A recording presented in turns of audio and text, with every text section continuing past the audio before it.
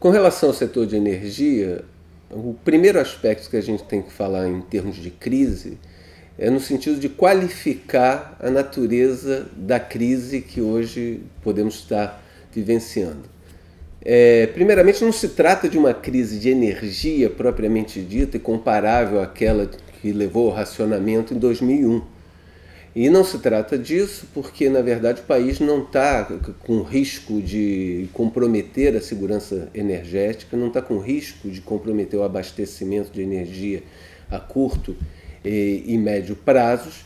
Então, dessa maneira, a própria crise macroeconômica que o país experimenta, de certa maneira, até atenuou é, as pressões sobre a expansão da oferta nesse primeiro momento. Um dado, por exemplo, é que a, o consumo de eletricidade com, de 2015 com relação a 2014 sofreu uma forte retração, coisa que a gente não, não observava desde a época do, do racionamento. Então, o consumo de eletricidade caiu 1,7%, sendo que o setor industrial puxa né, essa, essa forte queda de crescimento, caindo cerca de 5%, menos 5,3% se a gente compara 2015 e 2014. Se tomarmos, por exemplo, o consumo de diesel, que costuma ser também uma boa proxy é, da atividade econômica, da relação do consumo de energia com a atividade econômica, o consumo de diesel no país também caiu 4,7% de 2015 com relação a 2014. Então, de certo modo, a gente não está vivendo uma crise de abastecimento, uma crise que amplia a dependência energética do país, uma crise que leve é, a, a, um risco de, de ruptura do abastecimento de energia. Então, desse ponto de vista, acho que é importante a gente já deixar claro que não é dessa crise que a gente está falando do ponto de vista da, físico da, das condições de oferta e demanda, não existe nenhum risco potencial. É, evidentemente, ao longo dos dois últimos anos, no setor elétrico, a gente observou uma seca muito importante, mas nem aí a gente chegou a uma condição de racionamento. É, se levou sim a uma situação de, de geração muito mais cara em função da ampliação da participação das termoelétricas na, no total da geração, mas também nesse caso não, não foi uma crise de ruptura de, de fornecimento. O que a gente tem que qualificar então a partir de agora é que, evidentemente, o setor de energia está um pouco no centro da, das discussões e de mudança e da própria crise de natureza econômica e política que a gente está observando, é em que medida né, essa situação que a gente observa hoje engendra uma série de restrições para a expansão de médio e longo prazo dos investimentos necessários. Quando a gente fala de energia, a gente fala da necessidade sempre de antecipação né, do comportamento da demanda. Né? Como eu já, já mencionei, a crise, de certo modo, é, postergou a necessidade de investimentos é, que a gente deveria estar realizando hoje para fazer esse é, encontro da oferta e demanda de longo prazo. Mas isso não quer dizer que num país como o nosso, né, principalmente numa, num processo de retomada que a gente espera que venha a, a, a ocorrer né, a partir do ano que vem, essas pressões evidentemente aumentarão. Então é, já cabe nesse momento a gente verificar quais são as condições necessárias, os requisitos necessários para que os investimentos, tanto públicos quanto privados, possam ser ampliados para que a gente tenha garantia que no longo prazo as condições de, de oferta de energia estejam asseguradas para atender a demanda projetada.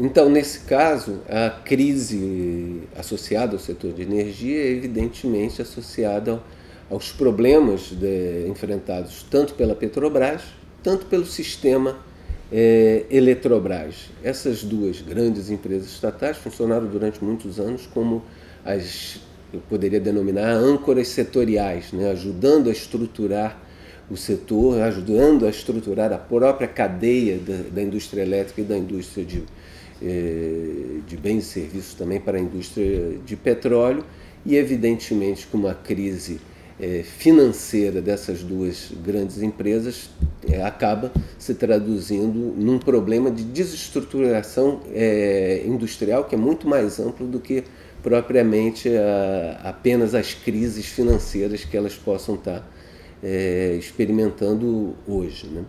Então cabe a gente aqui se interrogar um pouco sobre a, a natureza e as razões que levaram à crise de desestruturação dessas, dessas âncoras setoriais. Né? Lembrando sempre que elas serviram, né, tanto a Petrobras como a Eletrobras, serviram inclusive para ajudar investimentos privados a serem alavancados, é, no sentido que muitos dos riscos associados aos investimentos altamente intensivos em capital puderam ser mitigados em função da associação de capitais privados com, com essas empresas. Né?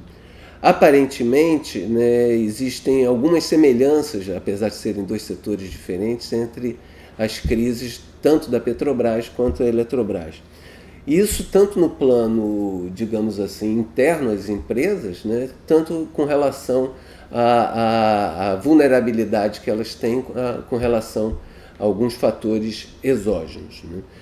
Com relação às causas, digamos, primeiro de natureza endógena, elas estão muito associadas ao modo de intervenção recente do governo, que é um modo de intervenção que, a bem da verdade, se arrasta há décadas, né? e em particular no que tange ao processo de formação de preços no setor de energia.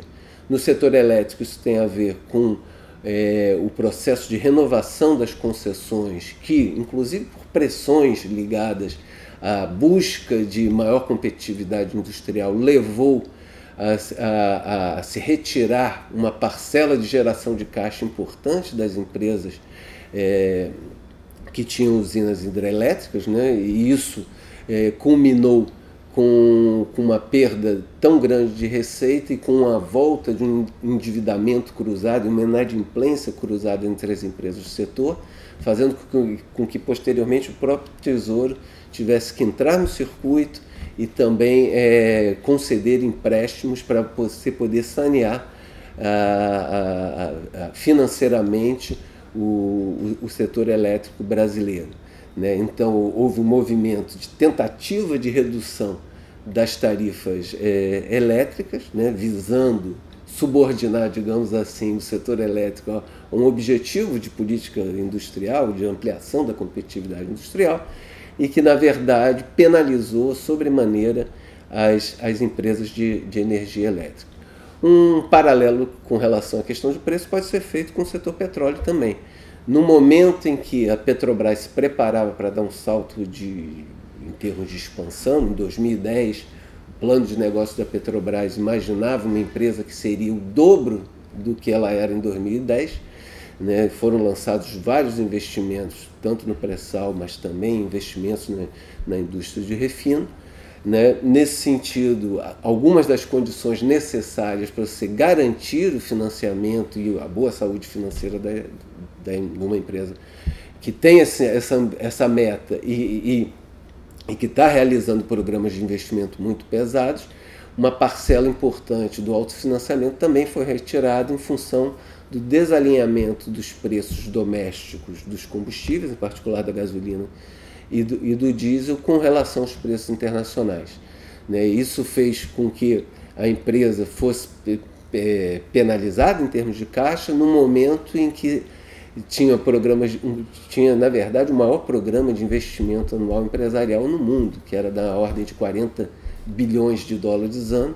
Isso representa algo em torno de 110 milhões de dólares por dia. É um programa de investimentos, portanto, colossal e que teria que ter como requisito uma condição de financiamento é, tal que não só levasse a necessidade de de manter seu investment grade em termos de, de poder ter acesso a créditos mais baratos no mercado interno, mas também pela necessidade que deveria ter de ter uma parcela de autofinanciamento importante que ficou seriamente comprometida em função da política de preços derivados naquele momento. Em suma, acho que a questão que, que, emerge nesse momento é se a gente chegou realmente ao, ao, limite da utilização desse tipo de instrumento dessa forma, de uma política de preços tão desacoplada com essa estrutura de custos e, e tão desacoplada do comportamento dos preços internacionais, de modo que a gente estaria entrando numa fase nova onde a gente deveria estar revendo é, os critérios de formação de preços, tornando os preços efetivamente sinais tanto para as decisões de consumo como para as decisões de investimento dos diferentes agentes econômicos. Mas além desse problema da, da, digamos, da inadequação da política de preços, que impactou fortemente, portanto, tanto o setor petróleo quanto o setor é, elétrico, existe também uma, um outro fator que levou a esse, esse momento crítico que a gente está vivendo hoje, e que é de natureza exógena e que, e que influenciou ambos os casos. No caso do setor elétrico, as secas, portanto, de 2014 e 2015 também não estavam previstos, fizeram os preços da energia dispararem, né, fazendo com que você tivesse que, naquele momento, de gerar eletricidade é, com, com um custo muito superior, e isso também não estava previsto, não estava, evidentemente, no, no, no radar, digamos, do governo quando implementou essa série de mudanças é, com relação à renovação das, das concessões. Então, esse fator exógeno pegou, um, um, é, ampliou, digamos assim, a vulnerabilidade do setor é, elétrico brasileiro na, é, naquele momento, é, 14 e 15, e ainda a gente tem efeitos para esse ano e provavelmente para o próximo ano nas contas das empresas e também na, com relação à inadimplência cruzada que pode ainda persistir. É, e no caso do setor petróleo, evidentemente, o, o, o segundo o, o, fator exógeno foi a queda de preços no mercado internacional.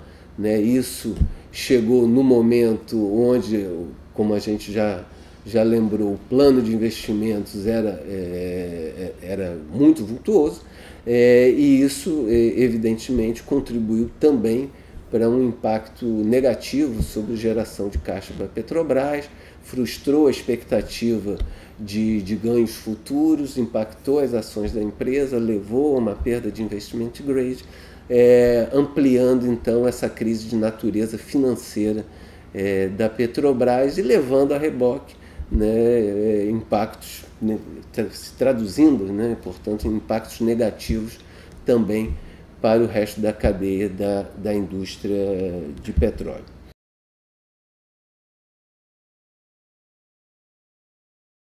Né? Nesse sentido, acho que o que, o, o que falta, talvez, no país não é uma boa dotação de recursos energéticos, não é, a, é uma, uma boa expertise tecnológica, não são recursos humanos, tudo isso, todos esses ativos, digamos, para você relançar e reestruturar e voltar a dar protagonismo para o setor de energia na economia brasileira estão presentes.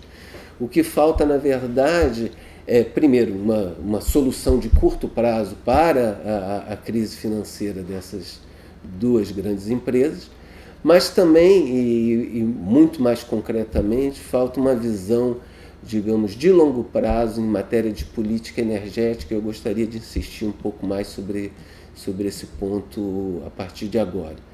É, acho que muito tempo o grupo de economia da energia vem tratando dessa, dessa questão e vem clamando né, por, pela necessidade de você ter um documento que aponte de maneira muito clara e objetiva as diretrizes de longo prazo de política energética do Brasil.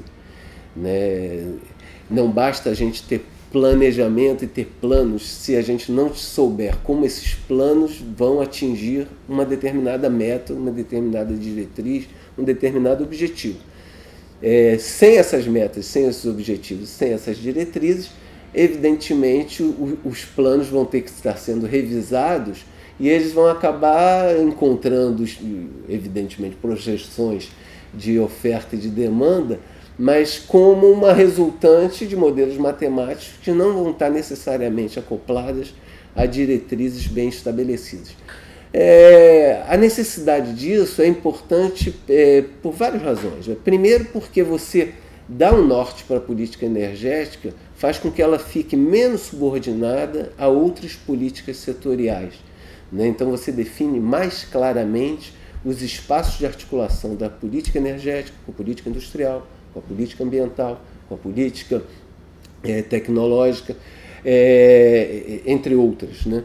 E, e, com a própria política macro, macroeconômica.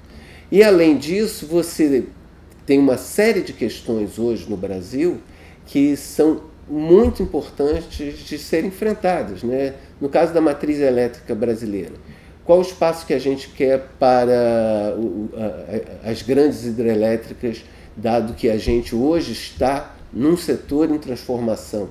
Né? Qual o espaço que a gente quer para o setor é, de energia nuclear?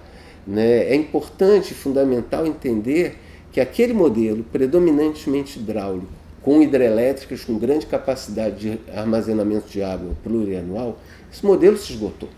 Né? Então é fundamental que a gente entenda que soluções diferentes, uma matriz elétrica diferente, tem que ser pensada.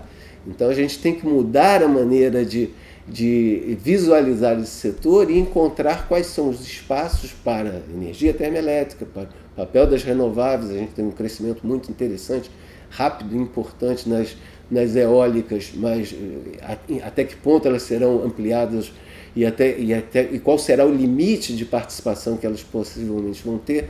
De novo, com relação às renováveis, a gente pode vir a ter um crescimento de, de energia solar usando mecanismos e incentivos similares ao que foram usados eh, a energia eólica, é, e, mas todas essas questões, em termos da natureza é, das transformações que a gente espera para a matriz elétrica no futuro, elas precisam ser enfrentadas a partir de agora. Né? No caso do, do setor de petróleo, derivados, gás natural e biocombustíveis, outras questões são importantes e eu vou me ater apenas uma delas. Né? O setor de transportes ele está em franca é, transformação. A gente tem é, um protagonismo internacional é, em biocombustíveis, qual o espaço que será reservado para os biocombustíveis no futuro. Né? A gente vai ampliar a participação de biodiesel e etanol. Né? Alternativas tecnológicas, como o carro elétrico, estão já sendo bastante desenvolvidas e podem ganhar escala no futuro. Qual será o espaço que a gente vai, vai ter para isso? Isso tudo tem relevância porque rebate de novo na questão do, do, dos investimentos a serem lançados. Uma ou outra alternativa implica em você ter que decidir ou não pela ampliação do parque de, de refino e como e com qual perfil tecnológico esse parque de refino deverá ser desenhado. Portanto, existe aí uma série de questões né, que precisam ser enfrentadas, que precisam ser a vera discutidas no Conselho Nacional de Política Energética, de modo que, é, ao estabelecer diretrizes firmes, você possa depois ter um plano nacional de energia, um plano decenal de energia mais, mais consistente e possa ter efetivamente instrumentos de política energética muito mais bem desenhados.